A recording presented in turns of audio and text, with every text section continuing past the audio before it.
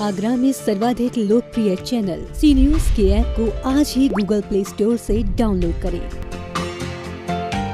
निर्मल सेवा सदन छिबेटोला में मुनश्री वीरसागर जी महाराज की मूकमाटी ग्रंथ पर विशेष धर्म कक्षा चल रही है।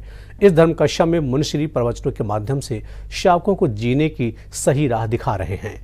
मुनराज के दिव्य अमृतवाणी का श्रवण करने के लिए विभिन्न शहरों से भक्तजनों की भीड़ भी वहाँ उमड़ रही है। निर्मल सेवा सदन में चल रहे दशलक्षण व्रत पर्व के समापन के बाद एक बार फिर से संत शिरोमणि आचार्य श्री विद्यासागर जी महाराज के मूक माटी महाकाव्य ग्रंथ के ऊपर मुनि श्री वीर सागर जी महाराज के प्रवचन शुरू हो गए।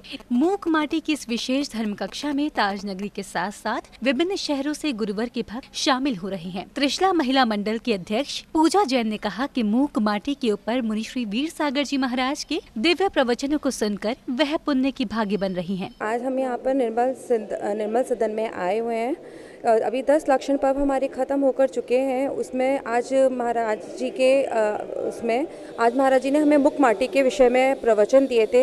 इससे हमें थोड़ा बहुत कुछ समझ में आया कि हमने इसके पूरे वर्ष में दस लक्ष्य पर में जो भी हमने गलतियाँ करी हैं, जानकर, अनजाने में जैसे भी गलतियाँ करी हैं, उन सबों की धीरे धीरे से एक दूसरे के लिए मन में बैर भाव जो आया है, अहंकार आया है, उनको हम धीरे धीरे से कांटे खोलें। इस तरह से महाचार्य श्री ने ये बताया कि हमारे मन में एक रस्सी की तरह से गांठें बंधी होती हैं और आज जो प्रवचन दिए तो अभी जो अंकल ने बोला था सेम वही बात कि आज हमने धीरे धीरे आज गांठों को देखा है। हाथों से नहीं खोला, मन की दिल से ही हमें उन गांठों को खोलना है। आज हमने ये सीखा, महाराज जी ने अपने प्रवचन में ये बताया कि इंसान अपने मन में इतनी गांठें बाँध लेता है कि जैसे एक रस्सी में गांठें बन जाती हैं, इतनी कठोर हो जाती हैं कि हम उसे चाहे कितना भी खुलना चाहें, वो नहीं खुलती हैं। ऐसे ही इंसान अपने मन में बाँध लेता है। रस्सी एक कहावत है, जैसे रस्सी जल गई पर बल नहीं गया। इसी तरह से इंसान भी अपने मन में गांठे इस तरह बाँध लेता है कि मतलब सब कुछ ख़त्म हो जाता है, पर अपने आप को ना तो सुलझाना चाहता है, ना उस बात को सुलझाना चाहता है। तो आज महाराज जी ने हमें ये सिखाया कि हमें अपने आप को किस तरीके से मतलब जो बात हो गई है उसे भूल के आगे बढ़ना चाहिए। मंदिर प्रबंध समिति के प्रवक्ता सत्येंद्र जैन ने कहा कि दशलक्षण पर्व के बाद एक बार फिर से मुनि श्री वीर सागर जी महाराज की धर्म कक्षा शुरू हुई है। इस धर्म कक्षा में मुनिराज ने क्षमा के ऊपर प्रवचन देकर हमारी आत्मा को तृप्त किया है। दशलक्षण पर्व के बाद आज मूक माठी ग्रंथ की वाचना का प्रथम दिवस था। और एक इत्तेफाक ऐसा रहा कि आज उस मूक माटी में जो प्रकरण आया वो भी क्षमा धर्म से संबंधित प्रकरण था।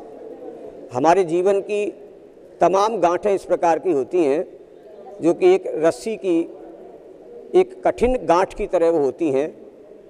ऐसा कहा जाता है कि रस्सी में जब कोई गांठ लग जाती है तो उस रस्सी की गांठ को खोलने के लिए लोग अपनी उंगलियों का अपने नाखूनों का भरपूर प्रयोग करते हैं लेकिन वो उन आ, उन उंगलियों से और उन नाखूनों से गांठें नहीं खुल पाती। अंत में वो व्यक्ति प्रयास करता है कि अपने दांतों का प्रयोग करके उन गिठानों को खोलने का प्रयास करे। मुनि श्री वीर सागर जी महाराज के सानिध्य में पिछले कुछ दिनों से छिपिटोला के प्राचीन श्री एक हज़ार आठ पार्शनाथ दिगम्बर जैन मंदिर का जीर्णोद्धार कार्य शुरू हो चुका है। वहीं छिपिटोला के मुख्य चौराहे पर कीर्ति स्तंभ के निर्माण का कार्य भी ज़ोर शोर से चल रहा है। सी न्यूज़ के लिए अजय बहादुर की रिपोर्ट।